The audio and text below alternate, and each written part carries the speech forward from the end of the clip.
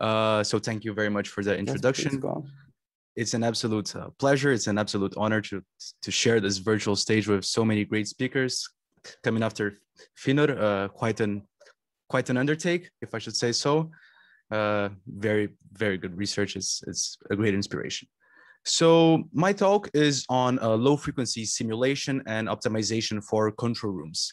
Uh, my name is Luiz Augusto, and this is the work I've been doing for my undergraduation at the Federal University of Santa Maria. And I'm being supervised by Dr. Eric Brandão, and the co-supervisor is Dr. Uh, Paulo Mareze. It's, uh, it's uh, I, I, don't take for granted their, their amazing support and, and of course help. Uh, this work couldn't be possible uh, without them. So it's, a, it's an absolute pleasure and an absolute honor to be able to work with them. So we shall start what are the main motivations for the work? So as Christopher already pointed, uh, my main focus is on designing and build tools to help the design process of critical listening spaces. And they might be mixing rooms, they might be mastering rooms, or even uh, production rooms, or of course, appreciation spaces such as home theaters and audio uh, listening rooms. Uh, and I'm focused here only on the low frequency part, which is where wave-based uh, simulations uh, happen, where wave, well, Finnur showed us that he can go higher and higher in the frequency range. Uh, I'm dealing here with uh, low frequency simulations only. And for that, uh, we present an open source framework for these low frequency simulations of rooms, of enclosures that can be used together with optimization algorithms, meaning that we can expand on it and we can uh, make it, uh, we can uh, build upon it and, and, and, and couple it together with different tools so we can, we can get very nice, nice results going. And more narrowly, and what is my, the focus of my, of my talk, is to find uh, optimal room shapes and source receiver positions given certain prescribed constraints. Uh, Johan already, already showed us a little bit that there are many degrees of freedom. Uh, there are many things that can be changed. And well, I address some of this of these problems uh, here.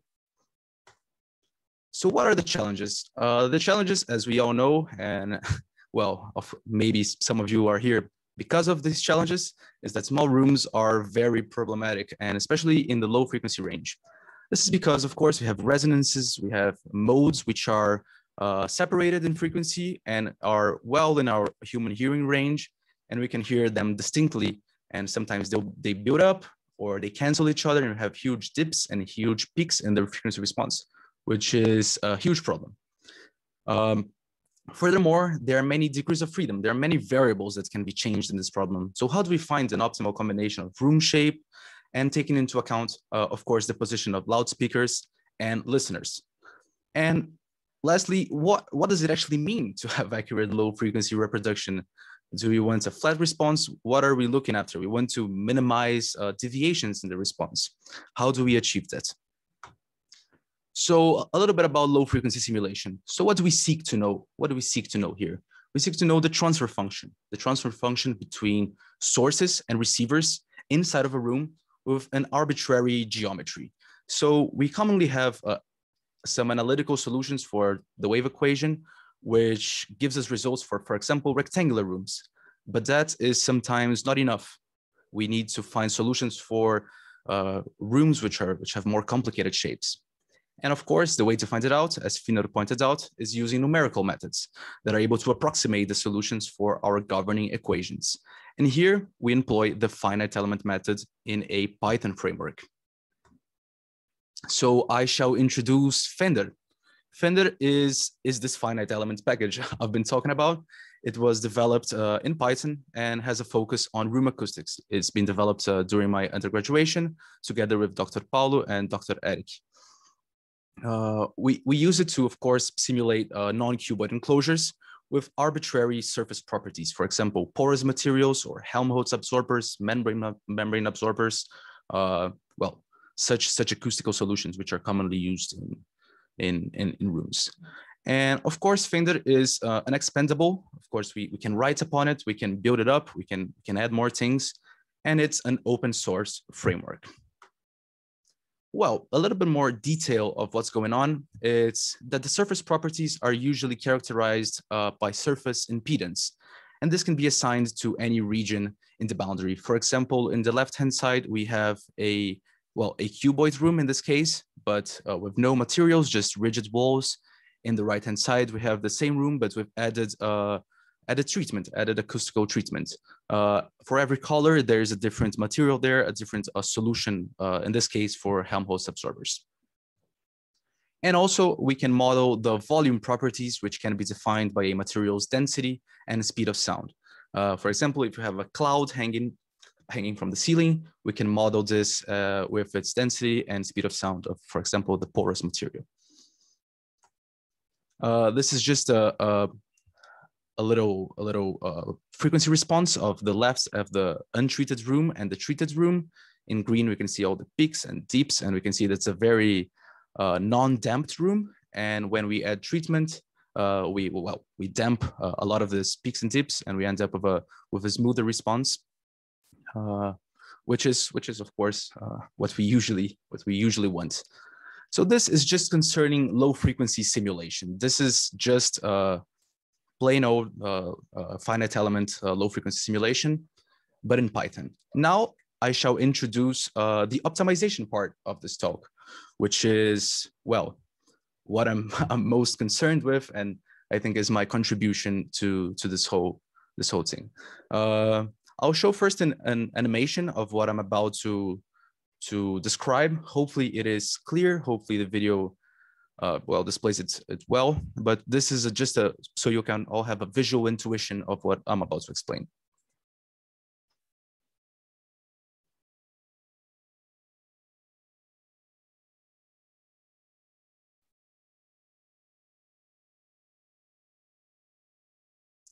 So we can see the shape of the room uh, changing uh, dramatically. And we have different source receiver positions, which are marked by the, the purple and green uh, dots. And well, in, in the end, we have a result, which I'll go deeper later.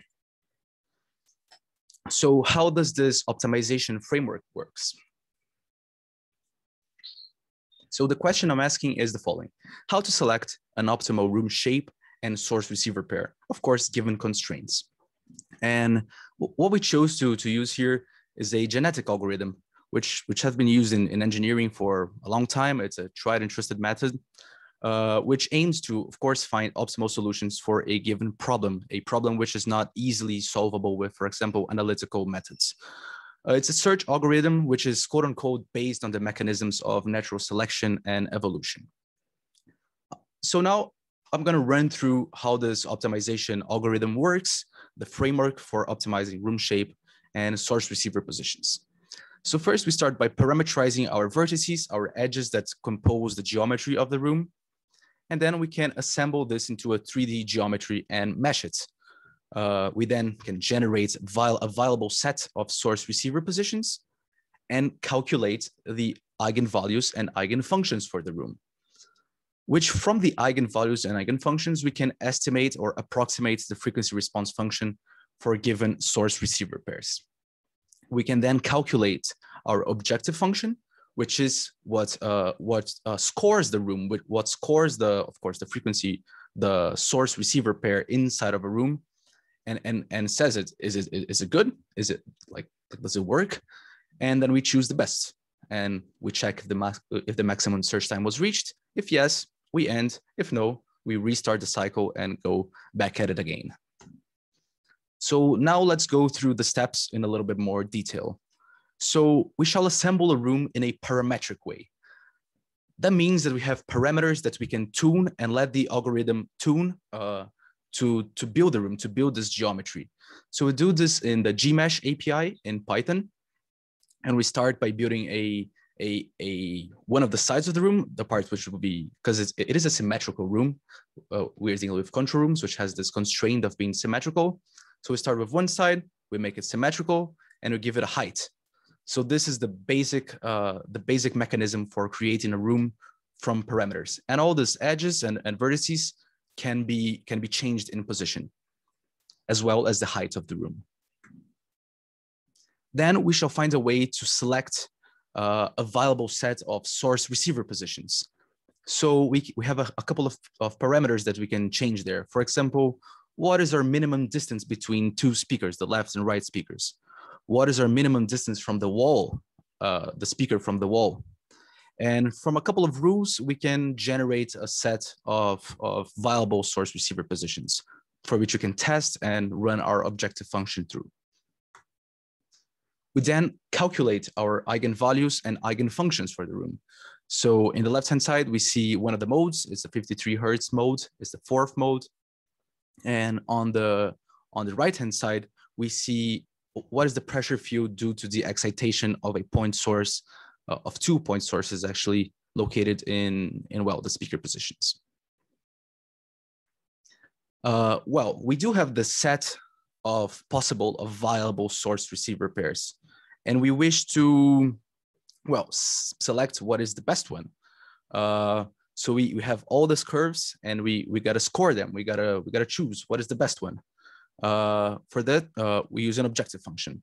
So just to make it clear how we get to these curves uh, from the from the eigen eigenfunctions and eigenvalues, we used uh, what is called the modal decomposition method, uh, which has the pro of being computationally cheaper. We don't have to run it multiple times for different source positions. But the con is, of course, that is it is an approximation uh, of the solution from the modal method. Uh, we could also we could also use the direct method if we have more time and uh, wish more precision. But for this case, we use the well the modal method. Now, now that we have all these curves, we got to find a way to score them. And by by score them, I mean we run an objective function which gives us a, a single value saying how good or how bad is this room.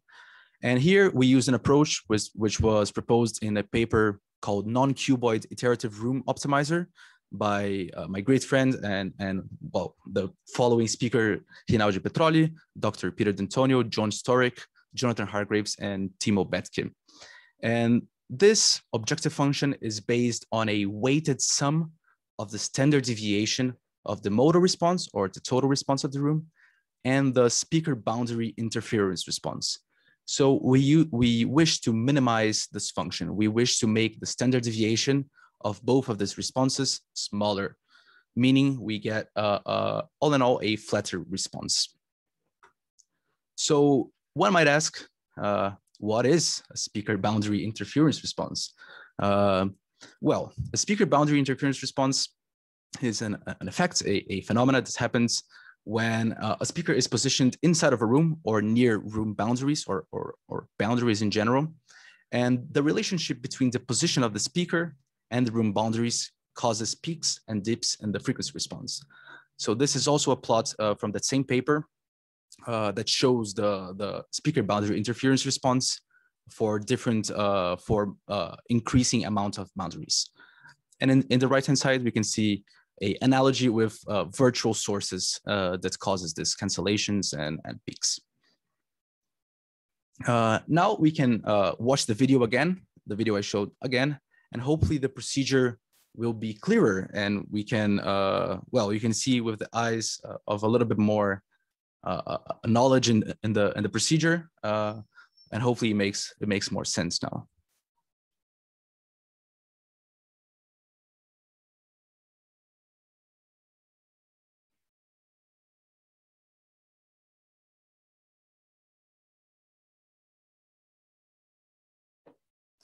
And finally, we have the results concerning uh, this one optimization run, uh, which started with a rectangular room and ended up with this weird shaped room.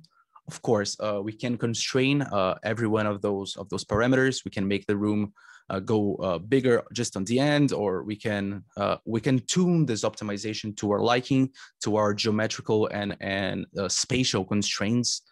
And hopefully, it is clear that the optimized room, which is the curve uh, in blue, is way better. Is it will be way easier to treat the room uh, with, uh, with, with this pre-step of optimizing and, and uh, starting to get an optimal uh, position of speakers and, and listeners. Uh, well, uh, ho hopefully the procedure will be smoother of, of adding uh, low frequency treatments uh, if we if we done this pre-step uh, before. And well, what are some of the conclusions that become, uh, well, a framework to simulate low frequency acoustics with arbitrary shapes and boundary conditions has been developed. This, uh, uh, this boundary conditions will become uh, more clear in the next talk by Rinaldi. He will, he will for sure make it, make, make it easier to understand and, and give some examples on, on different boundary conditions that are used. And the simulation package was successfully employed and coupled with an optimization procedure, which was our goal from the start. And a, a flatter frequency response was achieved with this optimization routine, which is, of course, what we wish to do. And the future work and one of my lifetime uh, endeavors that I, I, I wish to complete is to propose a framework to optimize the position and properties of acoustic treatment inside of a room. So for example, where should a Helmholtz absorber go? Where should a, a membrane absorber go? Where should we put uh, uh, porous materials? And do this in a automatic and, and programmatic and algorithmic way. This is a, a great quest. This is a great uh, endeavor which I wish to undertake uh, someday. And well, just as a as a bonus uh, regarding regarding the, the simulations and, and what we can do with open source simulations and what I've been working on my on my undergraduation with Dr. Eric and Dr. Paulo. Uh, we're also working with simulation of diffusers using the boundary element method in Python. Uh, in this case, we, we didn't build the, the engines from ground up, uh, the finite element, uh, in the other case, the finite element from ground up, which we've done. This uh, was done using an open source solver called BEMPP which is available. It's absolutely great. And we used it, uh, well, with great success. It, uh, this uh, simulating diffusers allows us to gather data, for example, for room acoustic simulations, such as scatter, the scattering coefficient, and for diffuser design, uh, which is usually uh, which is usually uh, characterized by the diffusion coefficient. I also have some data regarding the, the validation of such simulations comparing to, to experimental, experimental data, which was measured by Dr. Peter D'Antonio. Uh, and we can see that the, the scattered response, uh, the polar response of the scattered pressure is, is, is it's very nice. It, it's, it matches very well our, our simulations with, with, well, a nice accuracy. And hopefully we can see more tests on those and extend those tests to room acoustics too hopefully you can see some some some nice results on this. Uh, well, I think I went a little bit fast. Maybe I spoke a little bit too fast. Uh, hopefully I was I was clear in what I was saying, but well, 15 minutes in, like or a little bit more, and I'm done. Uh, so feel free to contact me uh, to talk about the topics I I, I displayed here. Uh, this is my email. Uh, it was, of course, a pleasure, uh, an honor to, to, to, to, share the stage with such great speakers. And well, we shall go to, to some questions if anyone has them.